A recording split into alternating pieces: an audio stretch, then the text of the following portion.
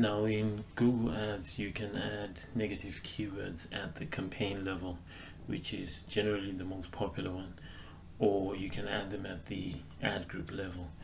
And an even better option is to sort of apply them to as many campaigns as possible and you can do that at the account level.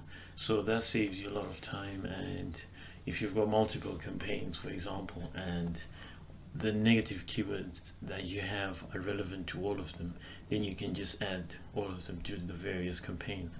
And to do that you click on tools and you go under shared library you go to negative keyword list. So what you would need to do is create a list that you are going to apply to as many relevant campaigns as you have.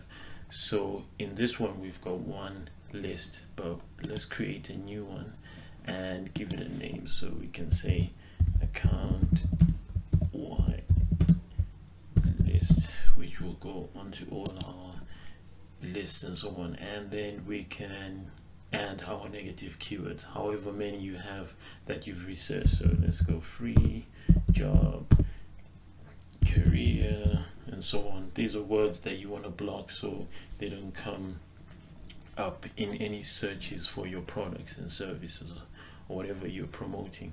And then when you've done that next thing you want to do is click save.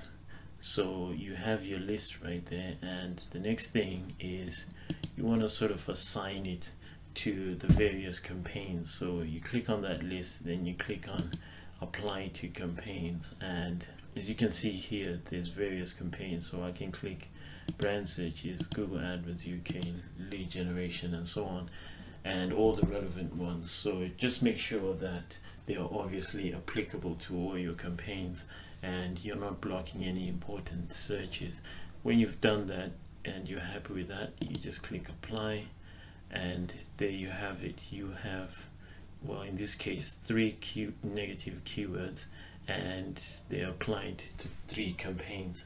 So that saves you a lot of time and you don't need to just copy and paste this into each campaign which can be a problem as well when you want to remove them and uh, optimize and tweak them and so on. So you can do it all within this list and it saves you a lot of time